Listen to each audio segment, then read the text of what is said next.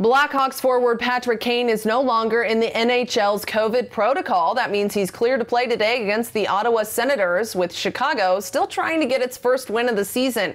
Kane was put into the league's COVID protocol October 23rd. He's played in five games this season. So far, he has one goal and four assists. Katie Johnston for CBSN, Chicago.